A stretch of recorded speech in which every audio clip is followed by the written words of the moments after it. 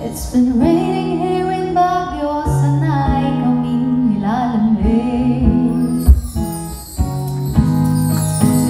But